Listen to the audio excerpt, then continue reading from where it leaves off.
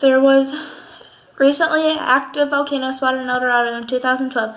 It stands 16,479 feet tall and is very dangerous. On August 21st, an explosive eruption produced an ash column that rose 4 kilometers into the air and pyroclastic flows that traveled 2.5 kilometers down a creek. These eruptions caused the evacuation of 10, 110 families. Cleveland volcano, a 5,676 foot tall remote volcano in the Aleutians, recently erupted explosively to shoot a thin cloud of ash several miles into the sky. The activity was reported by the Alaska Volcano Observatory, and one pilot who was flying in the area estimated that the ash cloud rose to 35,000 feet above sea level.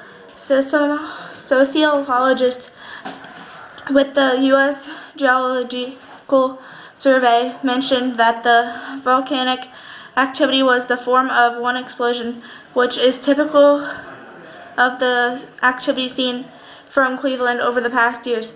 Satellite take images taken around the time that the pilot reported the ash plumes show only a thin ash cloud around the volcano, which makes it seem as though the eruption was recently short-lived and only a posed slight hazard to aircraft. The volcano can, volcanoes can kill you.